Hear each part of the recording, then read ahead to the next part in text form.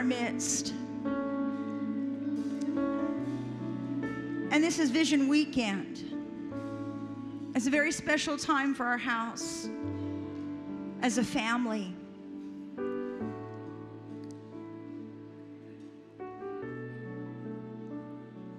There's a resistance to do the will of the Father in the life of humanity, just in our human nature. We want to do what we want to do. We're no longer to be living our lives from that standpoint.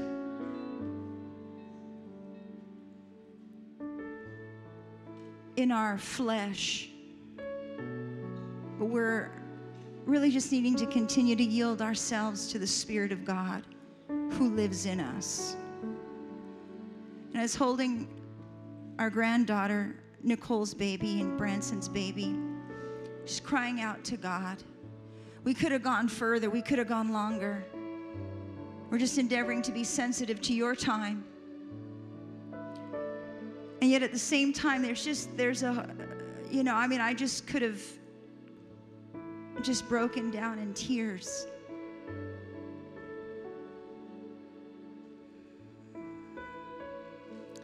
Because there are people that should be here that aren't here, and there are people that are going to be coming in and coming back. And my heart, I just say, Father, I was crying out to Him, and I said, Lord God, where there's a lack of understanding, for the family of this house. I'm not responsible for other families, for other church families. But I was crying out for our family, Word of Life. And that where there's a lack of understanding or there's a resistance, or there's a breaking down of understanding our individual significance for what God wants to do. My heart was just breaking for that lack of understanding and allowing the enemy to come in and divide and remove us from our called positions. And so I just had to come up and share with us, family. This is a weekend that we've been endeavoring to prepare for God to speak to us. And there's just been spiritual warfare against what God's wanting to do because the devil is so threatened by each and every one of us here today. He doesn't want our eyes to be opened. He doesn't want our hearts to be receptive. It is the simplicity of choice. It's a choice. There will be a supernatural ability that we will have from God that we didn't think was possible. But God's just needing our willingness. He can't make us willing, He's given us a will. It's our choice to be willing. But I tell you, where God wants to take us as a church family is beyond what we've ever imagined. It's, it's, it's a bigger plan that God has. And each and every one of our lives and our marriages and our children and the people that God's called us to, to have influence or be a part of, everything that's connected with us will benefit for the God plan that we allow God to do in our lives and through our lives. Let's be the change. But it starts with us. Just lift your hands up towards heaven. Pastor Fika is going to be sharing a word in season for us. But I know that the Spirit of God is hovering over us. And for those that needed to be here and those that are coming in and coming back, Father God, we lift up our brothers and sisters, the family of Word of Life. And Father, we thank you for those that are watching us online, that there's no time or distance in the realm of the Spirit. God, have mercy on us. Have mercy on us, Father. Let the abundance of your grace Embrace us, Lord God, today. Because in your grace, Father, there is sufficiency, there is a supernatural. Father God, for marriages to be strengthened, for relationships with our children to be stronger, Father God, for the plans and purposes that you've impressed upon our hearts for your kingdom's sake, God, to, to be made possible by the work of your Holy Spirit. Father, thank you for an open heaven that's upon us, that, that's open to us right now, that's embracing us, your love that never fails. God, do that work in our hearts right now. There He is. Just let Him have His way in your heart. What's He been saying to us from last night to today to right now? Many of us, if not all of us, came forward wanting to be who God needs us to be for our generation, and that includes our families and the people on the job and just everyone around us. God loves this city. God loves this state. God loves our nation. God loves the world.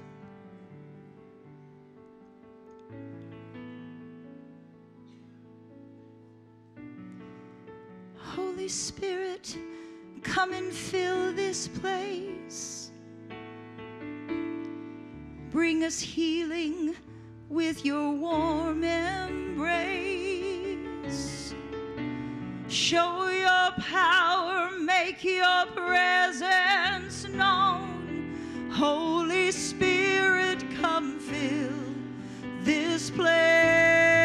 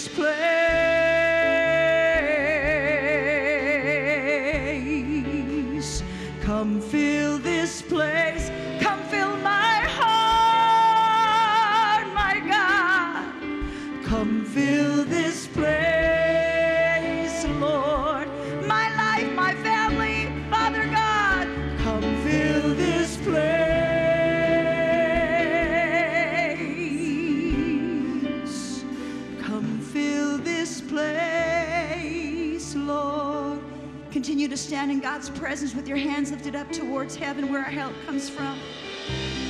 Hallelujah. Father, we acknowledge your presence, Lord. We thank you for your peace in this place. Thank you, Lord God, Father, for your joy. Thank you, Lord, for your grace that is sufficient, your ability, God, upon us, enabling us, Lord, to do what we cannot do on our own. We acknowledge your Holy Spirit here in this place, the leader, the teacher of the church. Come on, let the Holy Spirit just saturate our hearts.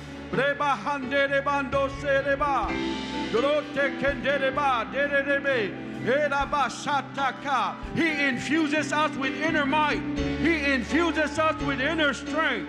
Rivers of living water flow, flow, flow. There it is. Pray in the Holy Ghost.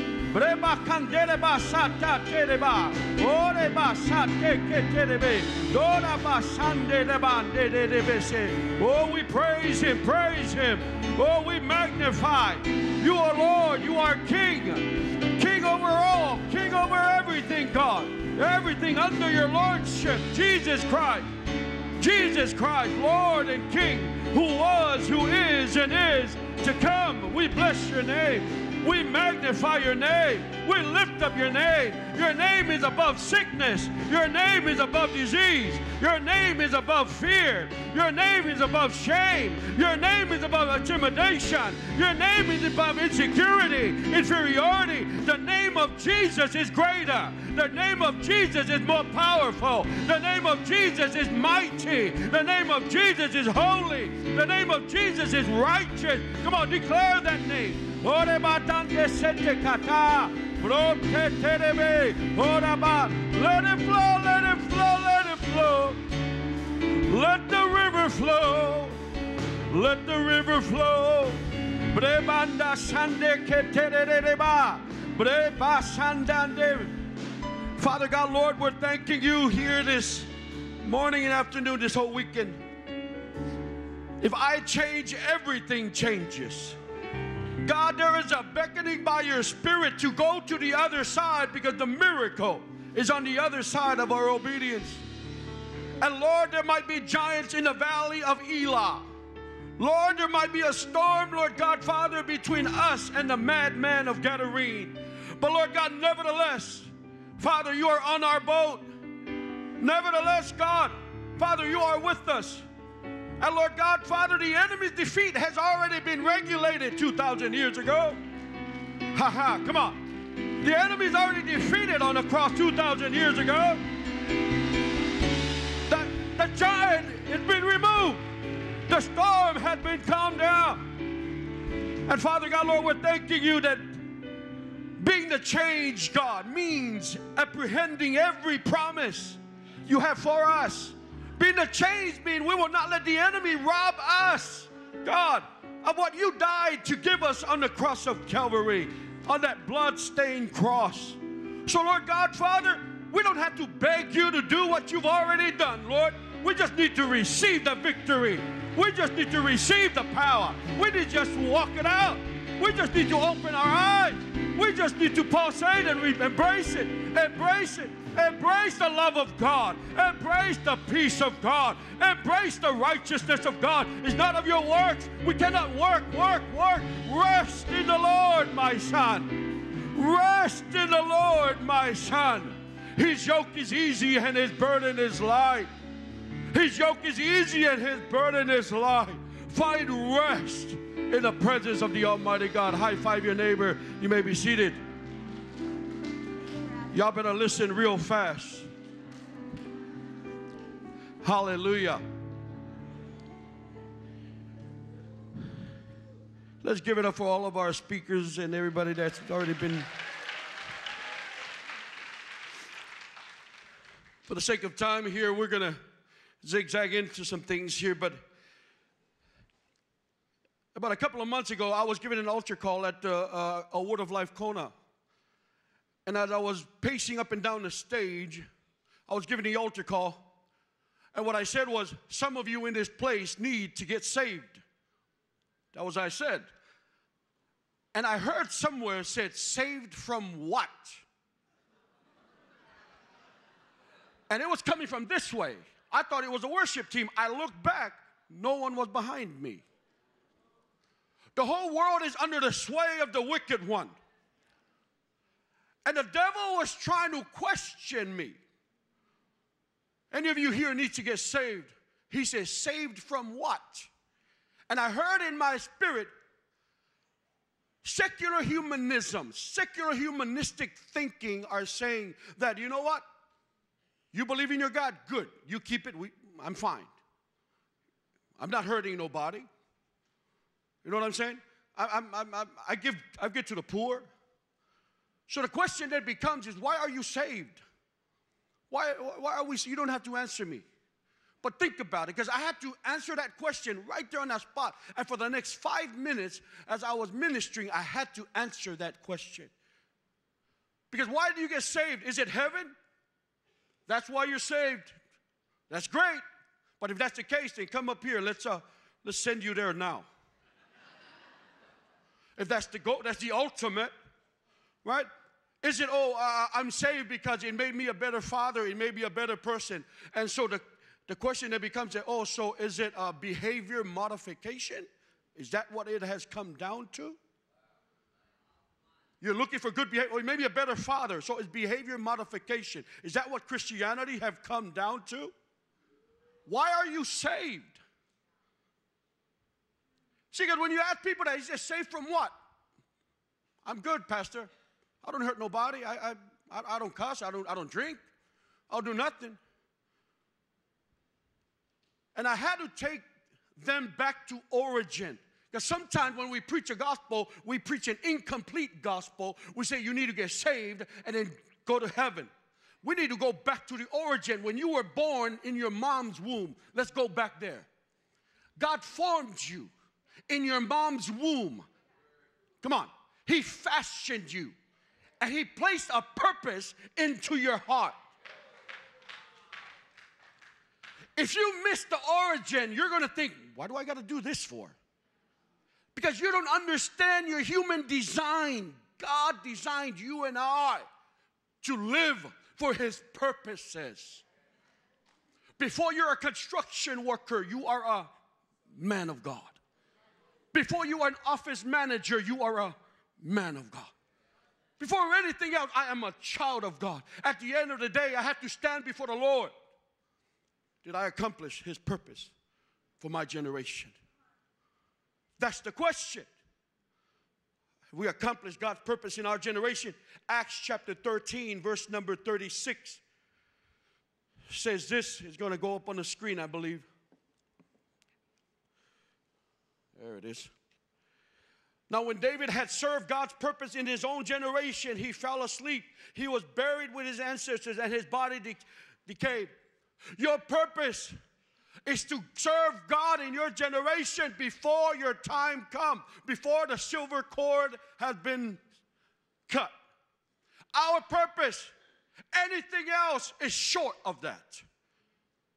You are not born to work a nine to five job, a nine to five job, a nine to five job, and then you die.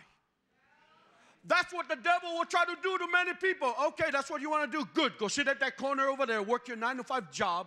You, us four, and no more. Die. Beat it. Excuse my language. Go ahead. Just go. Because you don't make a lick of difference. If God was to ever answer any of our prayers, would it change the world or would it only change us four and no more? God's heart is bigger. His family is big. His purposes is big. And His grace is enough to find us and include us into His purpose. Amen? Your purpose not just to work and money, all those stuff are great, but not at the substitute of what you have been born and designed to do. You take a star out of the sky, it will die. You take a plant out of the ground, you will die. You take a fish out of the water, it will die. Take you away from God, Amen. And David said that. You know how you know David fulfilled God's purpose? Because he was a man of cause. He was a man that said, Let me, I be the change. 1 Samuel 17 29. David is a man after God's own heart, and he walked upon uh, uh his brothers, and, and you know the story. I'm not going to go through for sake of time. And David said, What have I done now? Is there not a cause? The army was paralyzed because they had a giant in the midst of them and the promise of God. Maybe you have a tyrant in the middle of the street telling you, Go ahead, buddy, you cross this street, I'm gonna take you out. So some of us have been on this side of the street. We never dare to cross the street, although we want to cross the street. But Goliath has got us on this side, and the Lord's saying, Today, let's go to the other side. Today, let's go to the other side. So David, he came up on a battle and everybody was there. Have you ever hung around insecurity or fear long enough that you just build them an, an extra bedroom in your heart? Have you ever hung around intimidation long enough that all of a sudden you move, you, you, you let them move in, and you don't even charge them rent? That's how some people are. The children of Israel was sitting there. The enemy was coming right in front of their face. And he said, Is there anyone amongst you who will come out here? Take it out with me. And you know, he was smart because he came in the evening, right before the sun went down, and he came in the morning, right before the sun came up. That's how the enemy works. The last thing he wants you to think before you go to bed, fear. The first thing he wants you to wake up to, fear. That's how he worked. The enemy is threatened by those who are not moved by him. Amen. And so he's going to come and he's going to stand in the front. And David came. David walked up on these guards and they said, Man, they're ready for battle. You got ready for war? Yeah, yeah, yeah. Yeah, you ready for it? Yeah, yeah, yeah, yeah. He heard something. He heard the threat. And he started taking, giving out Manapuas, passing out some pork hash from the Manapua truck. And he, he did one of these numbers.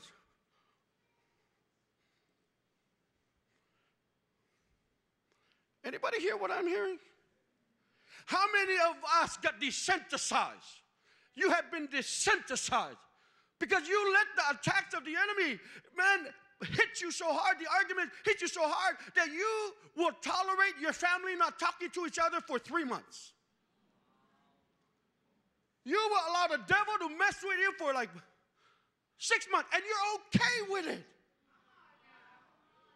That's the problem. It's not the enemy, it's people become okay with it.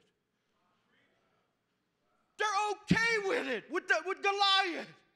It took a man after God's heart. He came out, is there not a cause? Guys, we're gonna let this guy talk to us like that? And they would look at him like, who do you think you are? You know, there's a young generation who raised up. And they're gonna be that generation say, is there not a cause? Huh?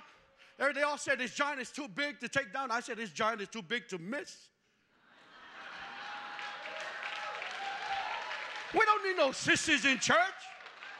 Amen. There's no crying in baseball or crying in football. Come on, we need men, women who's got a spiritual backbone, not because of us, but because of him. So Goliath come, you say, is there not a cause? Is there not a cause? And then lo and behold, David did what David did because he believed in the God that he served. Because when nobody else was looking, he was playing his harp, he was writing psalms. When nobody else was looking, he was working at night. Third shift, overnight shift, because he wasn't popular. When everybody else was doing their normal thing, he was just worshiping God. By the way, his name is mentioned more in the Bible than anybody else, even more than Jesus, David. And he fulfilled God's purpose in his generation before he go to sleep. Can that be said of us? That we fulfilled God's purpose? Not, not, not partial. Fulfill God's eternal purpose for us. John 18 37, the same person said what David said, and it was our Lord and Savior Jesus Christ.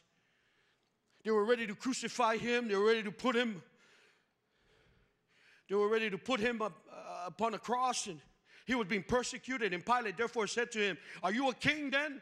Jesus answered, You say rightly that I am a king. For this cause I was born. And for this cause I have come into the world, that I should bear witnesses to the truth. Everyone who is of the truth hears my voice. Listen, he came to bear witness of the truth, and you shall know the truth, and the truth shall set you free. The truth don't set you free, it's the truth that you know. Ah, let me say that again. The truth don't set you free, it's the truth that we know. Stop falling for the lies. Stop falling for the lies. He's a deceiver. He will try to deceive you. He's going to try to keep you in your past. Go ahead, go ahead and stay there in unforgiveness. He's a deceiver. Jesus already took the unforgiveness upon him when he hung on the cross, but he doesn't want you to know that. Jesus said, Is there not a cause? Because, like our Jesus, our cause is very specific. That is to be the change to our generation. Our cause is to be the change to the world that is hurting. You turn on the news, you watch CNN and NBC and all these channels, and you see nothing but negative. By the way, all lives matter. In the kingdom of God, all lives matter. Amen. Jesus was born, he knew his purpose. He was born to die. Jesus' cause was to die a violent death on the cross to restore humanity to the Father. Jesus' cause was to take on sin's best shot. The judgment on sin was he took it upon himself and he nailed it to the cross. That was his cause so that you and I could be reconciled back unto God. He fulfilled his part. You, me, need to fulfill our part. Amen? Three things, real quick. Number one, Jesus' cause was to bring eternal redemption. Eternal redemption. Hebrews 9 12 goes on to say this. He goes up on the screen, just follow along with me. Not with the blood of goats and calves, but with his own blood, he entered the most holy place once and for all, having obtained eternal redemption. Eternal redemption. That means Jesus died for your past sins, your present sin, and your future sins. That's how powerful his blood is. Jesus' blood is powerful. Amen. First John 2 2, he said, He himself is a propitiator for our sins, not for ours only, but also for the world. We have redemption through his blood, the forgiveness of what? Sin. And this is eternal. The eternal God, whatever he does, it's eternal. Amen. His promises are eternal. The power of his blood is eternal. Come on, somebody. He translated us from the power of darkness, conveyed us into the kingdom of the Son of His love, eternal redemption. Why are you acting like you're not saved? If there was to arrest Christians, would you have enough evidence to be arrested? Well, I go to work, I, you know, I do good, I don't. So that's what your, your coworkers do. That's what my unsaved friends do. They work a job and go home. What's the difference? I'm sorry, get back on the track. Everybody say eternal redemption.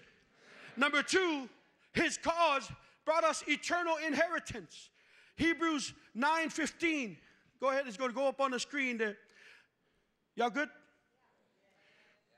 And for this reason, he is the mediator of the new covenant. Listen, everybody look at me. He's the mediator in the new covenant. Jesus wasn't in the, in the, in the old covenant. That's why Moses stood between them and the people. He, they, Moses was the mediator. Everybody, the king was the mediator. The, the prophet was the mediator. And now you're on this side of the cross. Jesus is your mediator. Amen? Jesus, watch this. He's our mediator of the new covenant by means of death for the redemption of the transgression under his first covenant. You can catch that on your own on your on your devotion. Watch this. That those who are called may receive the promise of the eternal inheritance. Say, I have an eternal inheritance. What does that mean, Pastor Fika? That means the promises of God for your life is eternal. Ah, it doesn't have an expiration date. How's that? Catch this. That means the peace of God is eternal. I ain't got no peace. Maybe you need to go back to the cross. You need to receive your peace. The enemy been messing with your emotions. Oh, his finger came out. I got a couple more minutes. His promise is eternal. His peace is eternal. His prosperity is eternal. Come on. His power is eternal. You see, 10 minutes ago, you were up here. Now that's in your past. Now you're back there. Now you're in the present. Guess what? God is in your past, your present, and two hours from now at the same time. His power is not limited by time or season. His love is eternal. His name is eternal. Why? Because we have an inherit an eternal inheritance. Listen, he's an eternal God, stepped out of eternity into time and space. He was trapped in a human body. He died a criminal's death. Everything that comes out of an eternal God is eternal. His goodness is eternal. You could be here today and you're sinning. God don't love you any less. Your, God, your, your sin, let me tell you something, your sin does not regulate God's love level. He don't like your sin, he loves you. Why? Because his love is eternal. It's already settled 2,000 years ago. Ah. Last, lastly, what was number one? Eternal redemption. Number two, eternal inheritance. And then number three, eternal purpose. His cause, eternal redemption, give us an eternal inheritance so that we could live an eternal purpose. Matthew 28 19 and 20. This is his purpose. Go therefore and make disciples, not Christians, not converts. Go therefore and make disciples of all nations, of all neighborhoods in our city here in Honolulu and beyond. Baptize them in the name of the Father, the Son, and the Holy Spirit teaching them to observe all things that I have commanded you. Guys, discipleship is about teaching. Preaching, you proclaim. Teaching, you explain. You cannot preach in your life group and expect them to grow. You got to teach them. Amen? That's scripture right there. Just look at it. Teaching them to observe all things that I've commanded you, and lo, I am with you always, even to the end of the age. So he came eternal redemption, give us an eternal inheritance, to give you and I an eternal purpose. A friend here, her name is Helen Berhane. And Helen, she, she was, she's, she's from this place called uh, the state of Eritrea, from East Africa, the border of Sudan and Ethiopia. That's her picture right there. She's a worship singer. And what happened is because she worshiped the Lord, the persecuted church back then, uh, they, they, had, they had to renounce their faith, but she wouldn't renounce her faith. And so, guess what they do? They locked her up into those containers right there, those shipping containers as a Christian. They locked her in there for two and a half years. No contact with the outside world, no legal representation, no medical care. And she was locked up in this medical camp. And in this metal shipping container for two and a half years, they always ask her, Hey, are you ready to deny, to deny your faith? To deny Jesus? And she would always tell them, I will do anything except deny my Savior. As a matter of fact, let me just let you into her story. Watch this, just a couple minutes and then we're done. Thank you.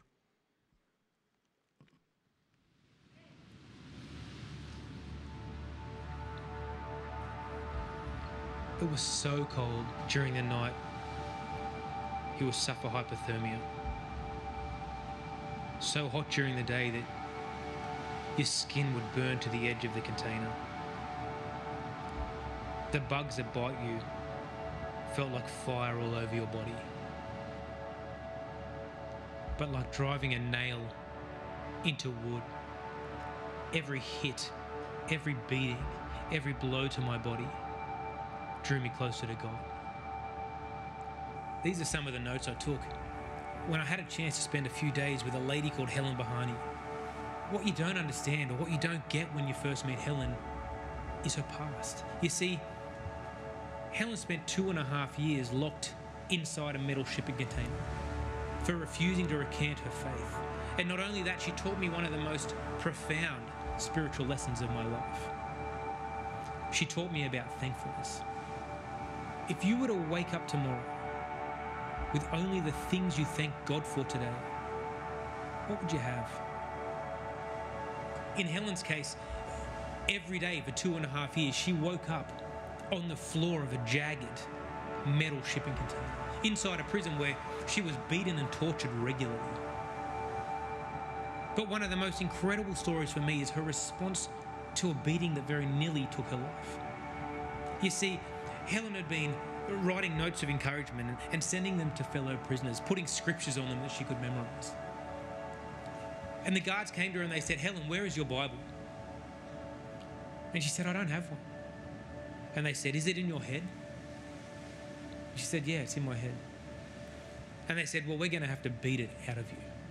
They proceeded to grab Helen and, and, and they dragged her to a courtyard, placed her in the middle, and started to beat her with wooden batons. What she does next has single handedly changed my Christian walk forever. You see, in the middle of this beating, Helen stops and looks at the guy hitting her and says to him, I do not hate you. For you are just carrying out an order. But you need to know that I'm carrying out an order too. And that's not to renounce Jesus. So carry on. Carry on? I mean, when they were finished beating her, they simply threw her body back into the metal shipping container. And as she lay on the floor in the container, she began to sing the following Thank you for the cold nights. Thank you for the hot days. Thank you for the hunger, for the sickness. Thank you for the bugs that bite my body. Thank you, Lord. Thank you. Thankfulness. Have you ever stopped for a minute to think about what role it plays in your life? I mean, what role thankfulness plays in your everyday? If you're like me, it's probably not much. You see, I ask God for a lot. But in comparison, I thank Him for very little.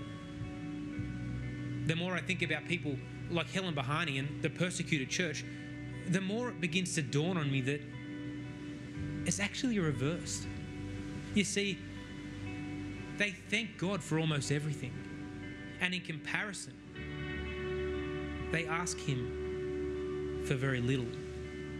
And this is because they're not following an institution called Christianity, they're following a living God.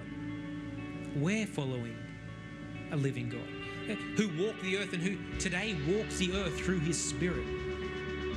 Our gratitude, our thankfulness, and the level by which we measure it should not be based off a set of rules or expectations and buzzwords, I guess, created by this Christian pop culture. It should be defined by Jesus Christ who walked with broken people, loved the unlovable, stood in the face of religion, led with a character and set of principles that he would not compromise for anyone or any deal. Didn't seem to care about things like brand, fashion label, return on investment, number of friends on Facebook or followers on Instagram, and didn't mind looking awkward if saying no meant the right outcome was achieved. And on top of all that, loved a dying and broken world with a passion that could not be filled, stopped, watered down, or contained. Jesus Christ, the Savior of the world, who ultimately laid down his life so that a sinful, broken, and dislocated group of people could have eternal life with him. And for that, I'm forever thankful. If you were to wake up tomorrow with only the things you thank God for today, what would you have?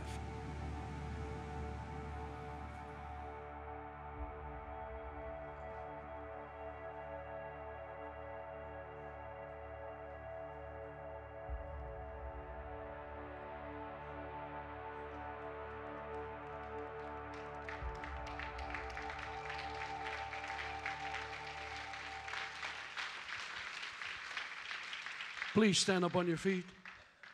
Thank you so much for your time. You know, I, I share this, um, even this message, because some of you know I, I, I'm one of Pastor R's 12, and, and I came from uh, West Oahu, and uh, I'm transferring here in Honolulu. And uh, God has raised up a great leadership there in uh, West Oahu under Joe and Stacy Bashan. And um, I had to really do a, a heart check because I had to build a brand new team. And I remember, you know, having my second meeting, you know, I, I, had about 10 people who came, and I went home, and my wife saw that something wasn't okay, so I just sat there and pouted in the garage, and she said, You okay? And she, I go, ah. She said, How'd it go tonight? I said, oh, Okay. How much people? I go, 10. She said, Well, that's great. And I'm thinking, ah. You know, and I said this out of my mouth. I was joking, but I said, you know what? I think I'm getting too old for this.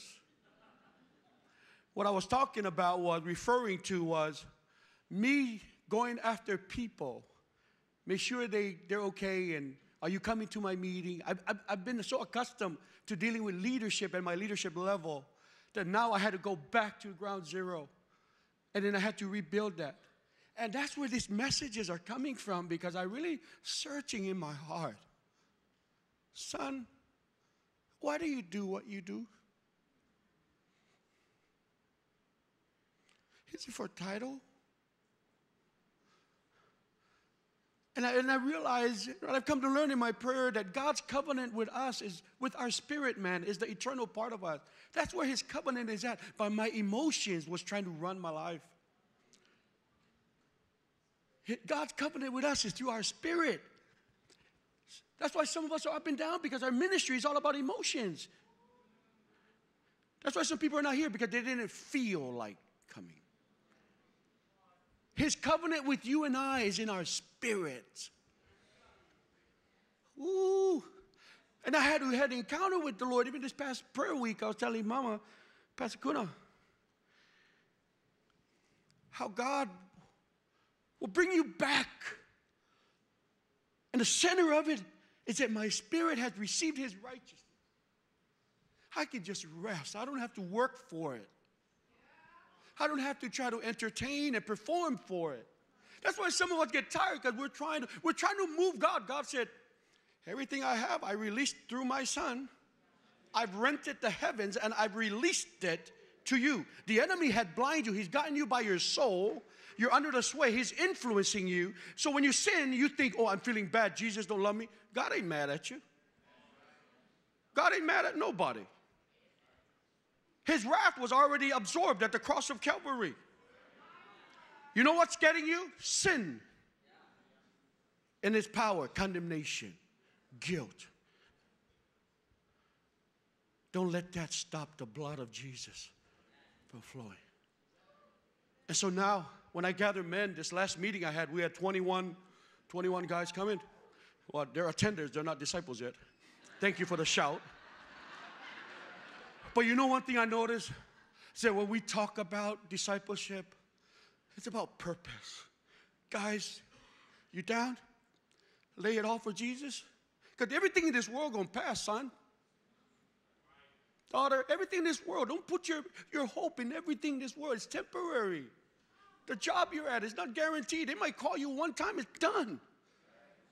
But the blood of Christ that's why this past week we talked about that we must worship Him, must worship Him, spirit and truth. You must. That's the only way to worship Him, not from emotionalism. It's from spirit, and it has to be so true, God. Amen. Would you close your eyes, lift up your hands? Go ahead. It's time. Just lift your hands. Let's come back to the Close your eyes.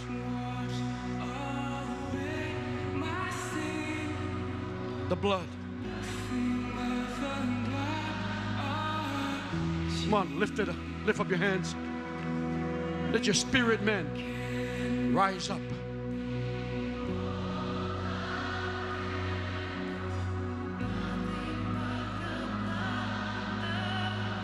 There it is. There it is. Only through the blood.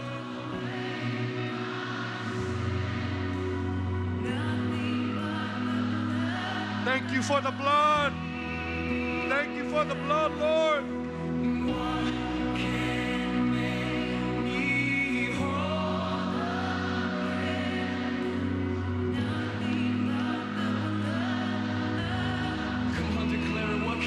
Your spirit man sing out.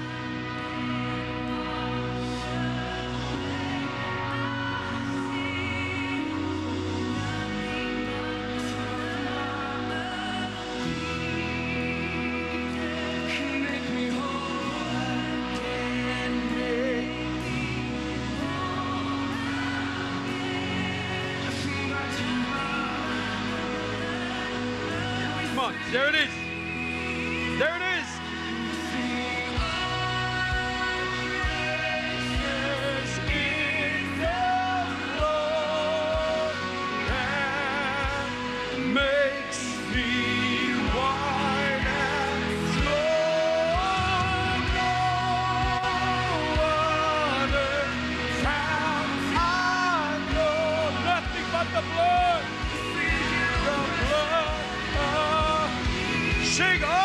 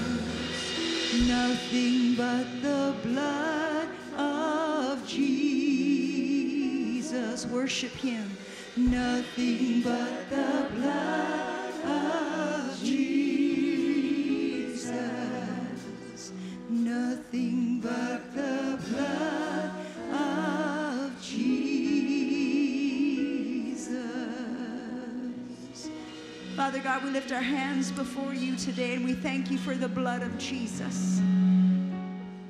Oh, the blood of Jesus. The blood of Jesus. Thank you for the blood of Jesus, Lord God. Thank you for doing a holy work in our lives today, Lord God. Thank you for the blood. The blood. Oh, the blood Jesus.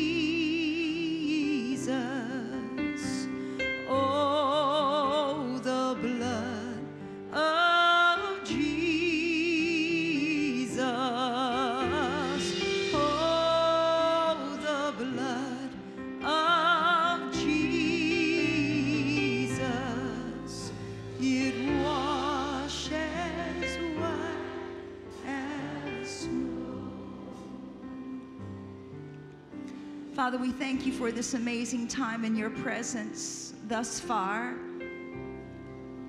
on this Vision Weekend. A weekend, Father God, where you're embracing us again with your unconditional, unfailing love, with your grace and with your mercy. Thank you for what you did for us to secure eternal redemption, eternal inheritance, for the clarity of our eternal purpose. God, seal what you've been speaking into our hearts today by your Holy Spirit. Seal it with the blood of Jesus over our hearts and minds today. Oh God, that we would go further with you, that we would yield ourselves to you, Lord God. So thankful that your blood has cleansed us and made us whole, and truly has given us a great hope for our today and for our tomorrows. This Vision Weekend, Lord God, has been ordained by you. A time, Lord God, that you can speak to us and strengthen us and encourage us to take the limits off of you, God. Because where you want to take us and what you want to do in our lives is far greater than we've ever experienced thus far. Because you are such a good, awesome, and faithful God. So thank you, Lord God, for strengthening us today to be who you need us to be. The change, God, that's needed starts with us. If I change, everything will change.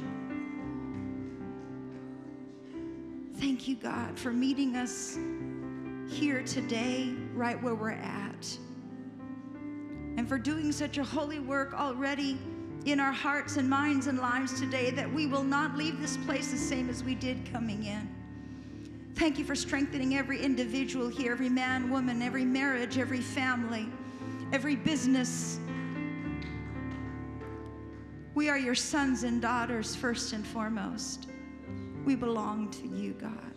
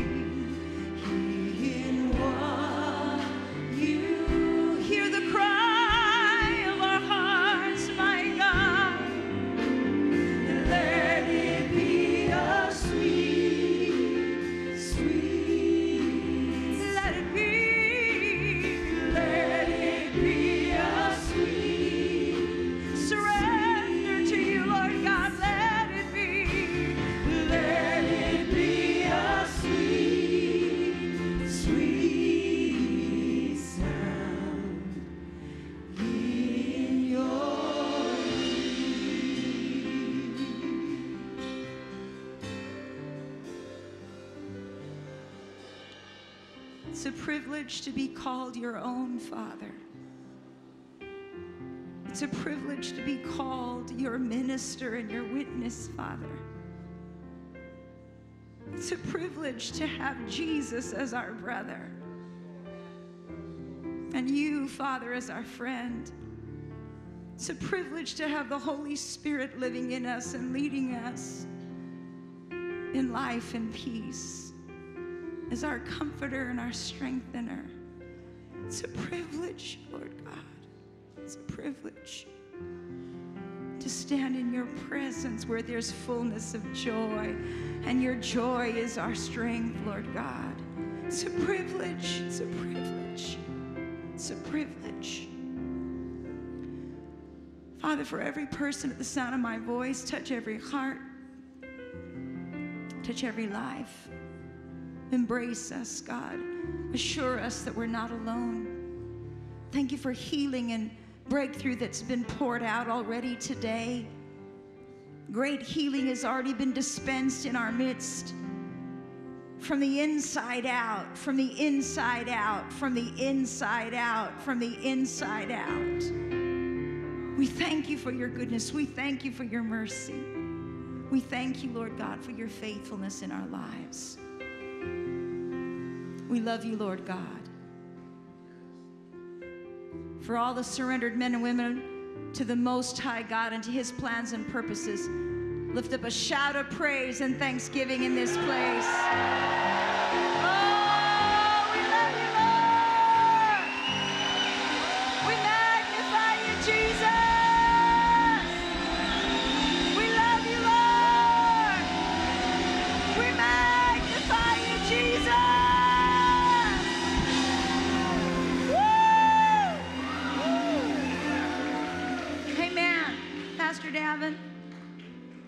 Amen. We've had a powerful time so far. So I've got great news. We're not done. We're just going to take an 18 hour break and we're going to resume tomorrow morning. All services, all campuses. And I really want to encourage all of you to join us for our Sunday night service. We're going to be concluding this amazing uh, Vision Weekend Sunday night right here in our sanctuary. And we're also going to be praying for and laying hands on all of our leaders. So uh, we're really expecting a deposit of a greater anointing in all of our lives. How many know God is clarifying our blurred vision? Amen. We're running forward, we're making a difference. So uh, as you leave, just a few reminders. If you haven't yet registered for the G12 Hawaii Conference, you can do that right outside in the courtyard, as well as our devoted women's event. Our encounter registrations available outside as well. And if you want any of today's sessions or last night's sessions, you can pick that up in our bookstore. Uh, you can order them. Um, from our bookstore, excuse me. But thank you so much for joining us today, and we will see you tomorrow. Go in the peace and the blessing of the Lord. Amen.